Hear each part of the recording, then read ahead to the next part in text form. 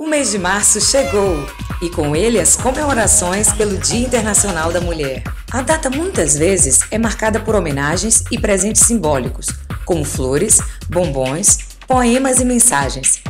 Mas poucos conhecem as reais origens do Dia Internacional da Mulher.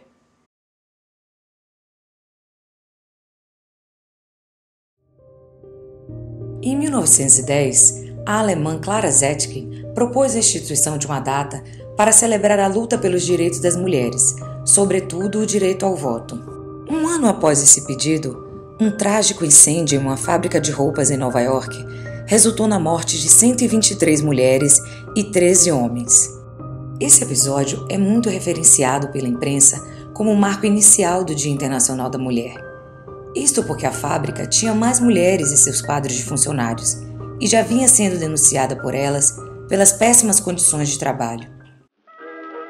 A data 8 de março, entretanto, tem origem nas manifestações das mulheres russas por melhores condições de vida e trabalho durante a Primeira Guerra Mundial. As mulheres foram às ruas em Petrogrado em uma manifestação conhecida como Pão e Paz. Oficializado em 1921, o 8 de março ficou esquecido no período entre guerras e só foi retomado pela Organização das Nações Unidas em 1975. A ONU instituiu a data como um marco da luta das mulheres pelo direito ao voto e por melhores condições de trabalho. De lá para cá, muita coisa avançou para as mulheres no mercado de trabalho. No Brasil, hoje elas são 44% do mercado formal de trabalho e cerca de 40% das mulheres brasileiras são as chefes da família, ou seja, as principais provedoras da casa. Eu fui para o Rio de Janeiro e casada, né, com, já com dois meninos, um de dois anos, outro seis meses. Só é que não deu certo no relacionamento e eu tive que retornar para Brasília sozinha com eles. Foi quando eu fui ter que ser pai e mãe dos meus filhos. Aí eu voltei a, a estudar e eu não parei mais. Por incrível que pareça, tem dias que eu vou dormir duas horas da manhã estudando e ninguém acredita. E venho trabalhar no outro dia lindo, maravilhoso, sorrindo para todo mundo. Quanto mais eu estudo, mais eu quero, entendeu? E agora que eu posso, tenho a oportunidade, entendeu? E como eu estou aqui na ANEL, com essa vaga de emprego que eu consegui aqui, aí pronto, aí é só ir para frente, nada de desistir. Bom, meu marido ele é autônomo e aí a parte mais, como a minha remuneração é fixa, certa, todas as contas fixas acabam ficando para mim. A gente consegue fazer tudo com base na minha remuneração. Aí eu entrei na ANEL, terminei minha faculdade de Direito, mas aí as coisas começaram a se equilibrar e apareceu a, a chance de fazer uma segunda graduação. Aí eu fiz uma, a graduação em Letras, depois eu fiz a pós-graduação em, em, revisão de texto e, por fim, agora eu tô, vou começar o mestrado no NB em Linguística. O número de mulheres com nível superior no Brasil cresceu muito na última década em 2018, a participação delas na universidade foi 37,9% superior à dos homens.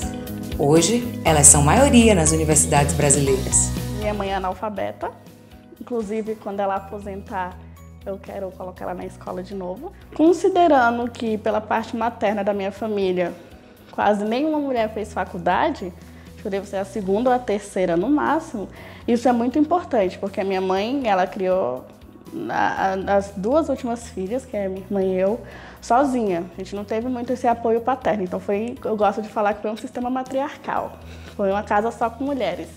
E a minha mãe sempre intensificou isso, que ela não teve oportunidade de estudar, mas ela ia fazer de tudo para a gente estudar e a gente já está conseguindo, já está seguindo o caminho. Eu terminei o segundo grau, levou alguns anos até eu resolver fazer o nível superior, porque na minha família não tinha ninguém com nível superior, meus pais é, deram educação para a gente até o segundo grau e achava que isso aí estava ótimo, né, para os padrões deles, né. Aí depois assim que eu fiz o nível superior, a, os meus irmãos todos eles começaram a ter essa ideia, gostaram, né, queriam crescer também e o orgulho da família, né, foi uma surpresa para mim ser indicada como é, superintendente adjunta mas estou enfrentando, estou aprendendo muitas coisas novas também. Para mim é um desafio, um desafio muito bom, que está me fazendo crescer bastante. E até para para as outras mulheres da, da, da área, né? para as outras mulheres da NEL também, para ver que a gente tem, tem espaço para crescer, tem condições de crescer. É a gente fazendo o nosso trabalho da melhor forma possível que a gente vai crescendo. Terminei o mestrado, eu lecionei dois anos na UFBA como professora substituta. Aí eu fiquei na dúvida se eu fazia o doutorado ou não, se eu seguia a carreira acadêmica ou não. Mas aí eu resolvi fazer o doutorado, que eu achei interessante, mesmo que eu não fosse seguir carreira acadêmica, porque eu acho assim que a mulher ela deve se capacitar sempre, ela deve se preparar para quando surgirem as oportunidades, ela não deixar a oportunidade passar, entendeu? A fronteira da universidade já foi ultrapassada. Agora o desafio é ocupar os espaços no mercado de trabalho. Alguns campos ainda apresentam muita assimetria na participação de homens e mulheres. Mas esse cenário está mudando.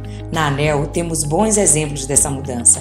Comecei é, estagiando, depois trabalhando é, no Polo Petroquímico de Camaçari, que fica próximo a Salvador, uma região industrial e trabalhava com manutenção em máquinas, em grandes máquinas elétricas. E, e eu me lembro que por ser um, um, um, lugar muito masculino, havia até uma preocupação com a roupa, em ir com uma roupa mais é, comprida, mais, né, mais escondida, o cabelo era mais curto, né?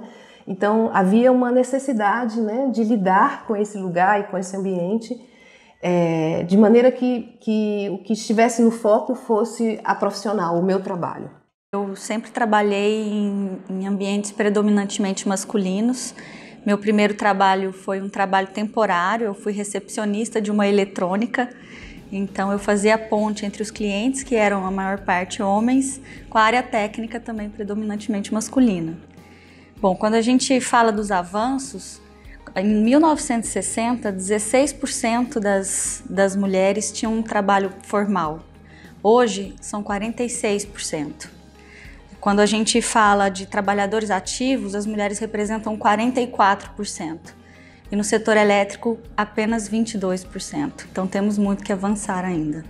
Eu me sinto muito honrada em ser a segunda diretora da ANEL e me sinto muito cobrada por isso também, me cobro bastante e me sinto muito responsável pelas mulheres que aqui trabalham. Acho que é importante a gente tentar criar um ambiente que propicie a ascensão dessas mulheres dentro da agência. Bom, o Dia da Mulher ele é importante não só para a gente parabenizar as mulheres, mas também para a gente homenagear as mulheres que lutaram para que a gente pudesse ter melhores condições de trabalho.